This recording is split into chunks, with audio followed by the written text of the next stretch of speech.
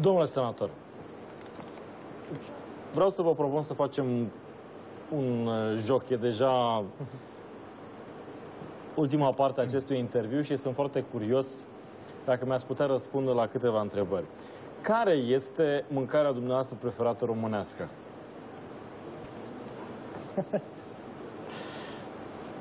Name it, all of them. Um, he said, a zis domnul senator, deci și tu poți să răspunzi.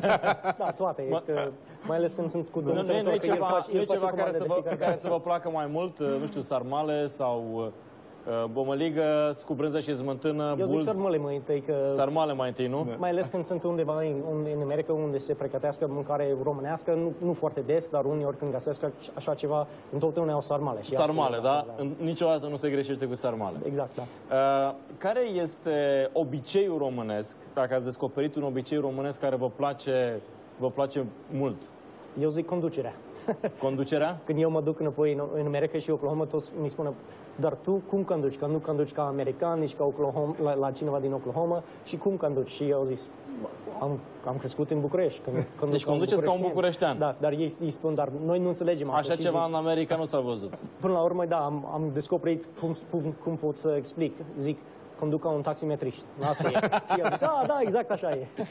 Uh, spuneți-mi care este locul dumneavoastră preferat din, din România ca frumusețe, ca... Tocmai am fost la Marea Neagră, la Corbu. Acum, aseară ne-am întors, am fost în camp cu niște tineri de la biserica noastră și mi place foarte mult că poți să stai acolo chiar pe plajă, în, în tabără și nu poți să faci așa ceva în America, ești chiar acolo și mi place foarte mult. Bine, bineînțeles și la munți, am învățat să schiez acolo la Poiana Brașov și mi place să mă duc acolo, dar eu zic Marea Neagră cel mai mult. Cel mai mult vă place. În Delta ați foarte fost? Frumos. Încă n-am fost. Am vrut să mă duc de mai multe ori, dar n-am reușit niciodată. Trebuie să mă duc cândva. În Poate trans, când o pe vreau să mă Transfăgărășan ați fost? Transfăgărășanu? N-am fost, nu. Uh, mai sunt încă câteva locuri foarte bune, foarte frumoase pe care uh, le, sper să le, să le vizitați. Uh, și cine știe, sper, cine, dacă viitorul președinte al Statelor Unite va fi republican și îl veți aduce în România să vadă într-adevăr că România este una dintre cele mai frumoase uh, țări din lume. Uh, e vreun cuvânt românesc care vă place foarte mult cum sună sau sensul lui pe care poate nu-l aveți în, în limba engleză? Șmecher. Șmecher. Da, si. Nu avem un cuvânt așa ceva Nu în- există. În, în engleză, nu există. Ah. Da, șmecher îmi place. Încerc să mă gândesc dacă există ceva similar în limba engleză cu șmecher. E, e ceva ce nu pot să zic la televizor. uh, șmecherul e doar o, un, un cuvânt care sună bine sau e un concept? Eu zic ambele, că Ambele. există și conceptul, dar sună și bine, că când spui, îți dai seama despre ce e vorba. Când zici șmecher, înțelegi ce înseamnă cuvântul ăsta. Și chiar dacă nu știi limba română, știi că șmecher e ceva, se întâmplă ceva cu asta. Uh, aveți un... Uh, uh, ați zis că v-ați uitat la filmele americane uh, subtitrate în limba română. Aveți un artist, o persoană publică care vă place în România?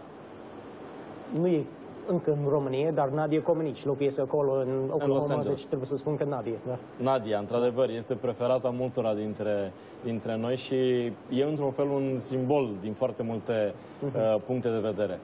Dacă ar fi să exportați ceva din România, să duceți în America, în afară de condus, în afară de sarmale, în afară de Marea Neagră de la Corbu, ce altceva ați luat din România să duceți în America? De fapt, sunt mai multe lucruri pe care iau cu mine când mă întorc. Um, Coca-Cola e mai bine aici decât în America uh, și Fanta și toate lucrurile E mai bună astea. Coca-Cola aici decât în America? Mult mai bine când sunt Avem aici. fabricile în România, probabil, din cauza asta. Exact, da e. Dar uh, când m-am întors ultima oară, când am fost aici în octombrie, am luat înapoi cu mine uh, bomboane Poiana de ciocolată uh, și bomboane de ciocolată și m-am dus acolo înapoi în America și am dat la toți cei care lucrează acolo la Senate și toți au zis, "A, e cea mai bună ciocolată pe care am avut vre- vreodată. Deci asta mi place foarte mult. Uh, Eu aș mai avea niște idei pe care să le puteți duce uh, senatorilor americani și să întrebe unde e țara în care să fac lucrurile astea, că am vrea să, să mergem acolo. Sunt câteva lucruri, cred, foarte bune pe care, pe care le fac uh, românii, dar n-aș vrea eu să le fac reclamă, că deja le-am făcut uh, câtorva. Uh, Bun, acum vă mai întreb ceva. Dacă ar fi să luați ceva din America și să le exportați în România. Ați spus foarte frumos mai devreme și foarte înțelept faptul că legile de la Constituție, chiar dacă, iată, mie îmi place declarația de independență, lucrurile trebuie puse în context. Nu merge să luăm uh, Constituția Statelor Unite să o ducem la București. Nu merge să luăm, uh, eu știu, uh, sistemul așa cum există el în Statele Unite, să-l aducem la București, mă refer sistemul de, de putere și din Statele Unite, cu toate că, într-un fel, tindem către acel stat de drept. Dar nu se iau lucrurile ad literam și se translatează. Dar este ceva, totuși, pe care l-ați luat din Statele Unite, așa cum e, să îl aduceți în România? Um, nu e foarte profund, dar zic aer condiționat. Că aer condiționat. în America avem aer condiționat peste tot. Oriunde te duci, te duci sau Eu credeam că o să ziceți autostrăzile. A, și asta ar fi foarte, foarte bine. A, a fost bine că am fost pe autostradă Soarelui, sau cum se spune acolo la da. Constanța, și asta a fost Aia autostradă bine. în regulă, e autostradă bună când uh, nu se fură, uh, cum se numesc astea, reflect, sunt niște, niște elemente reflectorizante. Uh, când nu se fură lucrurile astea, când, uh, mă rog, cred că mai sunt niște probleme, nu mai țin minte eu acum, că n-am mai fost de mult mare, dar cred că mai sunt niște lucruri. Ok, și vreau să vă întreb întrebarea cea mai importantă. Sunteți senator, iată, deja de câți ani? Trei ani. Trei ani. Ce sfat ați dat senatorilor români Uh, probabil că vă întâlniți, iată, aveți și prieteni, uh, senatorul Ardelean cred că este unul dintre ei. Ce sfat ați da senatorilor din România într-un moment în care am sentimentul că poate ar avea nevoie și de sfaturi? Eu aș spune că ce fac eu este că mă uit, când, când mă uit la o lege sau ceva, când trebuie să, dau un, trebuie să votez la ceva, mă uit mai întâi la ce zice Constituție. Ok, dacă e, acord, e acordul cu Constituție, e bine. Dacă nu, nu pot să suport așa ceva. Trebuie să, trebuie să fii sigur că uh, totul se aliniază cu Constituție. Dar după asta, eu zic că trebuie să faci ce e ce mai bine pentru oamenii, pentru poporul.